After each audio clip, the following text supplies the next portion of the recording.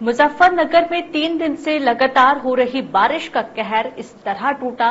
नगर कोतवाली क्षेत्र के मिमलाना रोड स्थित आस मोहम्मद के कच्चे मकान की छत देर रात गिर गई, जिसमें दो मासूम बच्चों की दबकर मौत हो गई और पाँच लोग घायल हो गए हैं। वहीं घायलों की स्थिति देखने के लिए एसडीएम सदर परम आनंद झा भारतीय जनता पार्टी के राज्य मंत्री कपिल देव अग्रवाल जिला अस्पताल पहुँचे, जहाँ पहुंचकर कपिल देव अग्रवाल ने मकान की छत गिरने से घायल हुए परिवार को 9 लाख की आर्थिक सहायता देने की घोषणा की है।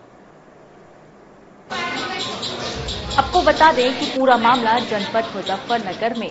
थाना नगर कोतवाली क्षेत्र के मिमलाना रोड का है, जहाँ देर रात लगातार हो रही बारिश का कहर एक गरीब के आशियाने पर टूट गया, जिसमें कच्चे मकान की छत गिरने से दो मासूम बच्चों की जान चली गई और एक महिला सहित पाँच लोग घायल हो गए हैं। वहीं जहाँ स्थानीय लोगों की मदद से पाँचों घायलों को जिला अस्पताल में भर्ती कर पाया गया, दिन निकलते ही घायलों की स्थिति जानने के लिए बीजेपी के राज्य मंत्री कपिल देव अग्रवाल, एसडीएम सदर परम आनंद झा पहुँचे, जहाँ पहुंचकर राज्य मंत्री ने पीड़ित परिवार को मकान बनाने के लिए एक लाख का चेक और छत गिरने से मरे दो बच्चों के लिए आठ लाख रुपए देने की घोषणा की है।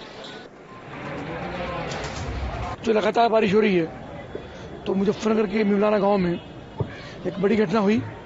एक छत गिरने से आस मोहम्मद के दो बच्चों का दुखद निधन हुआ है।